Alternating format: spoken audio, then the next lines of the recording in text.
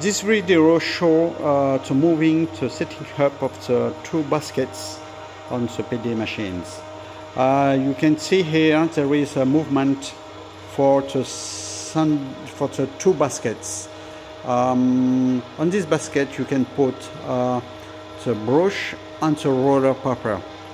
And uh, if you need it, you can change uh, the movement the distance of this movement.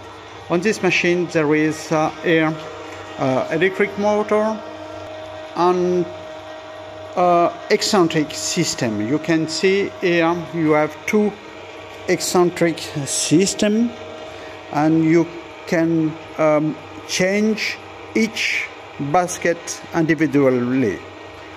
Um, I stop the machines. Okay and you can see the screw here and the bolt here. If you change the position of this screw, uh, you have less or more eccentric uh, movement. More eccentric movement, you have more distance moving on this basket.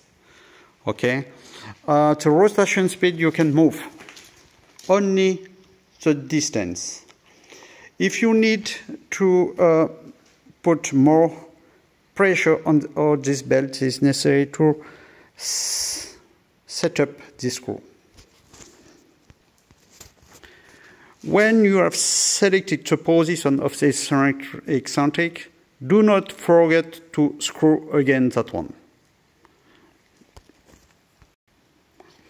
So um, each six months is necessary to put the grease here and here.